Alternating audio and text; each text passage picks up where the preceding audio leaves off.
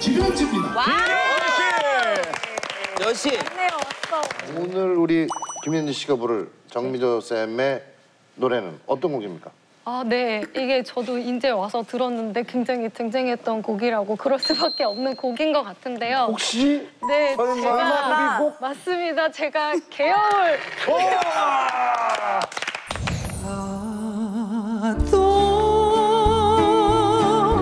아주 가 지는 않노라시도 근데 개울이 누가 가져갈까 너무 궁금했거든요. 네. 나도 나도. 어, 너무 치열하다고 그래요. 투탈 저희가 했단 말이에요. 그렇죠, 그렇지. 근데 여기에 아, 이런 얘기가 나오면 더더욱 부담이 되기 시작하거든요, 사실. 그래서 사실 와가지고 지금 계속 부담을 이렇게 안고 어떡하지 어떡하지 이러고 너무 있었어요. 기대돼요. 이 노래가 가진 힘이 어느 정도냐면 이 노래는 실제로 그 아이유 씨도 리메이크를 그렇죠, 그렇죠. 2017년도에 아이유 씨가 리메이크하면서 다시 또 젊은 세대들에게 많은 사랑을 받게 됐는데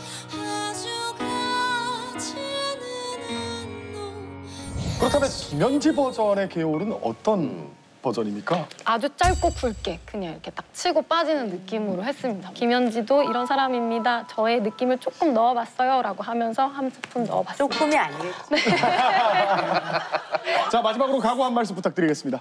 저에게 어, 개여울이라는 곡을 어, 선택할 수 있는 기회가 주어져서 최선을 다해서 잘 불러보도록 하겠습니다. 그리고 승현아 언니에게 넘겨줘.